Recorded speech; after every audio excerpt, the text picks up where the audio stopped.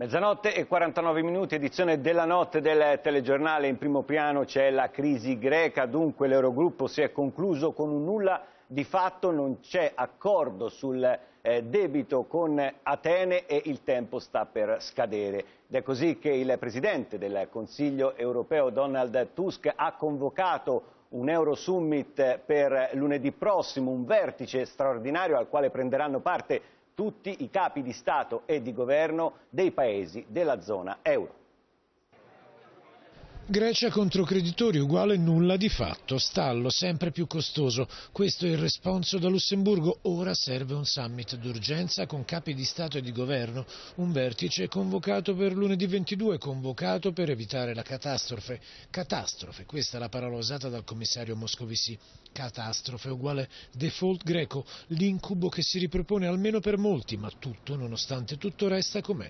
Cosa serve? Per l'Unione chi rivendica quattrini da Atene mancano vere proposte per risolvere la querela e cresce nel contempo, ma non fra tutti, la paura che a questo punto Atene si possa rivelare pronta ad affrontare il suo stesso fallimento.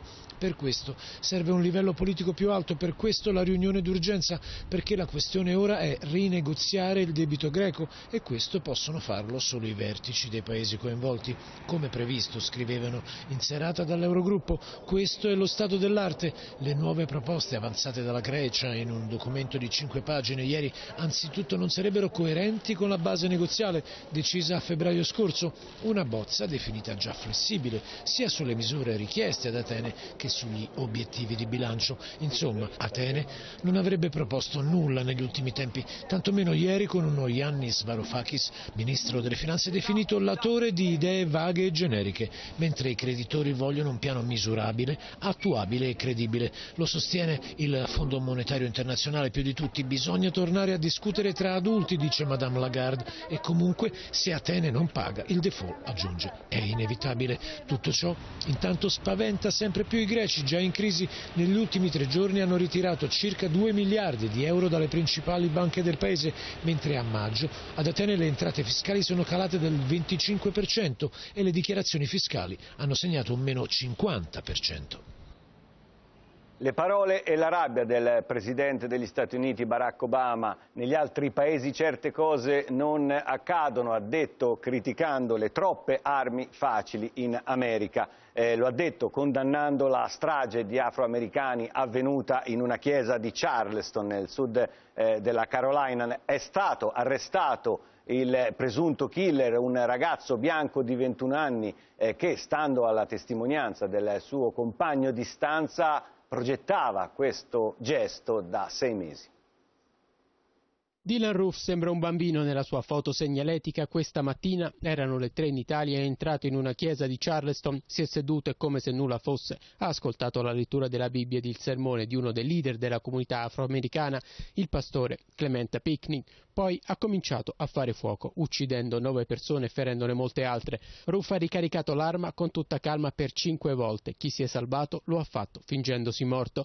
L'obiettivo, la chiesa di African Emmanuel, è uno dei luoghi simbolo della lotta contro lo schiavismo e negli anni 60 per i diritti civili. Lo stesso Barack Obama lo ricorda nel suo discorso.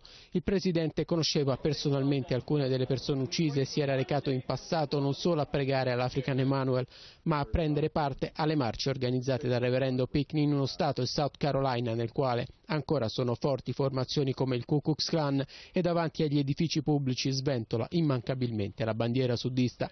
Anche la veglia di questa mattina aveva un significato politico e sociale, era un incontro di protesta contro la morte di Walter Scott, giovane nero disarmato ucciso da un agente bianco a Charleston lo scorso aprile. Una storia che ricorda molto quella di Michael Brown in Missouri. Nella dinamica del massacro e nella preparazione si ritrovano tutte le incongruenze del sistema di vita americano. Ruff nell'ultimo anno aveva avuto diversi guai con la giustizia, problemi di droga, eppure il padre per il suo ventunesimo compleanno ha pensato che fosse opportuno regalargli una pistola e non una qualsiasi, una 44 Magnum. Un giorno Obama è arrivato a fine mandato per poterlo ammettere davanti all'America, noi come Paese dovremmo fare i conti con il fatto che simili stragi in altre nazioni civili non esistono e chiederci come mai. Papa Francesco ha presentato al mondo la sua enciclica Laudato Si, un monito contro il degrado ambientale ed umano. I popoli, ha detto Bergoglio, hanno già pagato moltissimo il salvataggio a ogni costo delle banche, non paghino anche quelli della crescita ad ogni costo. Laudato Si è il titolo dell'enciclica di Bergoglio dedicata all'ambiente, la seconda del suo pontificato, la prima nella storia della Chiesa scritta in italiano. Siamo cresciuti credendoci autorizzati a saccheggiare il pianeta, si legge, ma ora serve una conversione ecologica, possibile solo modificando l'economia che non rispetta più l'uomo. La salvaguardia dell'ambiente non può essere disgiunta dalla giustizia verso i poveri, si legge, e dalla soluzione dei problemi strutturali di un'economia che persegue solo il profitto e pensa che possa risolvere ogni problema. E qui ce n'è anche per le banche, il loro salvataggio pagato dalla popolazione senza la decisione di rivedere e riformare l'intero sistema riafferma un dominio assoluto della finanza che potrà solo generare nuove crisi. Avida e irresponsabile, così è stata la crescita per Bergoglio negli ultimi decenni. Ora bisogna pensare a rallentare un po' il passo, accettare che alcune economie decrescano procurando risorse perché si possa crescere in modo sano da altre parti. Gli ecologisti hanno apprezzato soprattutto la condanna del Papa alla stupidità umana per il riscaldamento globale e l'esaurimento delle risorse naturali, un messaggio che sperano sproni le nazioni in vista della conferenza ONU sui cambiamenti climatici di dicembre. Ma Francesco spiega anche che non si può essere ambientalisti e poi giustificare l'aborto o la manipolazione degli embrioni, mentre sugli OGM il Papa non ha una posizione preconcetta di rifiuto. I rischi, scrive, non vanno sempre attribuiti alla tecnica stessa, ma alla sua inadeguata o eccessiva applicazione. Immigrazione resta alta la tensione alla frontiera di Ventimiglia, secondo la polizia e la Croce eh, rossa, la Francia starebbe tentando di respingere in territorio italiano anche migranti che non sono mai transitati nel nostro paese e minori che invece per legge andrebbero ospitati dove vengono fermati. La Francia ha intensificato anche i controlli sui treni per allontanare i migranti senza documenti. Sugli scogli di Ventimiglia intanto è iniziato il Ramadan. I 100 migranti accampati da giorni sulle rocce rifiutano adesso cibo ed acqua fino al tramonto nonostante il caldo afoso con la temperatura che sfiora i 40 gradi sono tutti a rischio di disidratazione. A due giorni dalle parole del Premier Matteo Renzi, che sono suonate come avviso eh, di sfratto per il sindaco di Roma, è lo stesso sindaco, Ignazio Marino, a rompere il eh, silenzio, facendo sapere eh, che lui vuole restare in sella e lo vuole fare sino al 2023. Eh, si è paragonato anche a Monti quando subentrò dopo la caduta del governo Berlusconi. Dice che non si dimetterà e anzi si ricandiderà alla fine del primo mandato. Risponde al Premier segretario Renzi e ripete che vuole continuare a fare pulizia. Il sindaco di Roma respinge così le pressioni che si stanno concentrando sul Campidoglio, ad iniziare dal Presidente del Consiglio che lo ha sfidato. Marino resti solo se riesce a fare le cose che servono a Roma. È il primo cittadino, dopo una devastante inchiesta giudiziaria che ha colpito il Consiglio Comunale e anche la sua giunta, e nel mezzo di una fortissima tensione che scuote il suo partito, decide di rompere la assedio e convoca una conferenza stampa. Così a chi gli domanda se non giudica le critiche del Premier un po' ingenerose risponde «Ho trovato Roma come Monti trovò il paese dopo Berlusconi. Non sono il salvatore della patria», ripete il sindaco, «ma quando sono arrivato era necessario un reset completo. Ora stiamo riavviando il computer. La gente ora vuole pulizia e cambiamento e con gli elettori ci sono anche Sella, la lista civica che mi sostiene e il PD». Marino invoca dunque il Partito Democratico. Eppure la linea del Nazareno sui destini dell'amministrazione Demme in Campidoglio non è stata sempre univoca. Se Renzi non lo ha mai difeso a corpo morto, il presidente del PD Orfini invece, che è anche commissario democrat della capitale, lo ha sempre difeso, fino ad arrivare a precisare le parole del Premier vanno lette come un incentivo a fare meglio. Anche il vice segretario Guerini ha fatto sempre quadrato, su Marino ha più volte ripetuto non c'è nessuna delegittimazione di Renzi o del PD. Sta di fatto però che l'amministrazione capitolina è ancora in bilico. Si aspettano infatti le decisioni del prefetto Gabrielli che dovrà valutare se il comune è da sciogliere per infiltrazioni mafiose oppure no.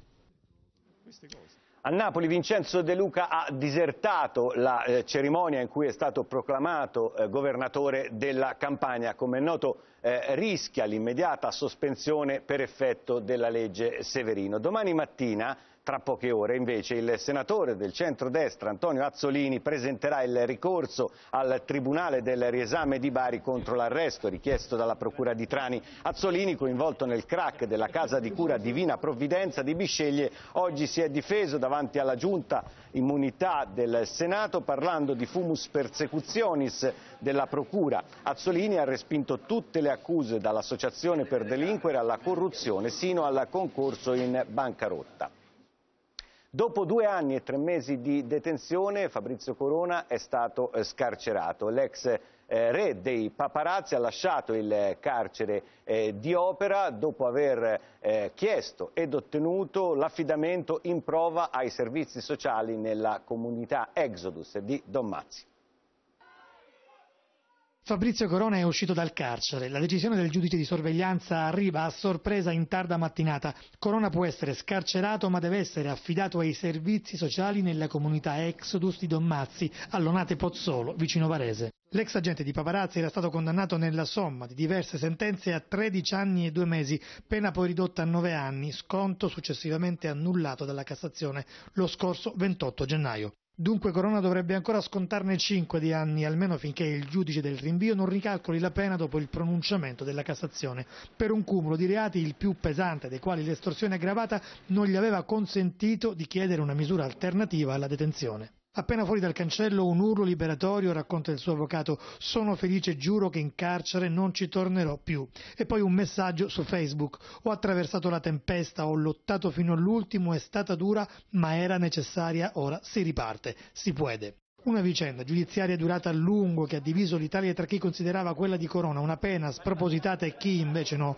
una detenzione che lui stesso aveva definito più volte un calvario. L'ultima volta che era apparso davanti ai giudici non era più quel bad boy che conosciamo tutti, ma un uomo provato dal regime penitenziario. Aveva più volte chiesto una pena alternativa perché soffriva di stati d'ansia e attacchi di panico, disturbi legati a quella personalità narcisistica e borderline, come è scritto nella perizia psichiatrica fornita dalla difesa ed era stato proprio lui a proporre la comunità di recupero di Don Mazzi per espiare la sua pena. Lo scorso dicembre i suoi legali hanno presentato una domanda di grazia parziale all'allora Presidente della Repubblica Giorgio Napolitano e di cui si occuperà adesso Sergio Mattarella. Oggi la novità. Si tratta, fa sapere il legale, di un affidamento temporaneo senza alcuno sconto di pena. Tra qualche mese il Tribunale di sorveglianza dovrà valutare se confermare l'affidamento in prova o rimetterlo in carcere. Calciomercato e Formula 1 nella pagina sportiva, Paolo Pellacani. Sì, il calciomercato, ma prima ancora il calcio giocato perché eh, l'Italia, gli azzurrini, l'Under 21 agli europei hanno eh, perso, sono stati sconfitti per 2-1 dalla Svezia dopo essere passati in vantaggio. Il calciomercato, tante le trattative, ma tutto ruota intorno al eh, grande eh, talento della Juventus Paul Pogba che dovrebbe finire al Barcellona ma non subito, tra un anno, giocherà un altro anno in bianco-nero. Intanto la Juve pensa a Mandzukic per il dopo Tevez.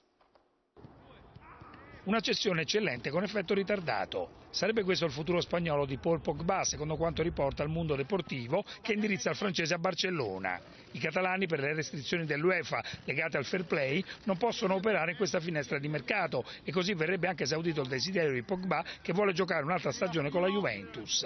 Il Barça avrebbe ottenuto una corsia preferenziale per l'estate 2016, ma prima si dovrebbe arrivare ad un contratto privato tra le parti sulla base di circa 80 milioni per la Juventus.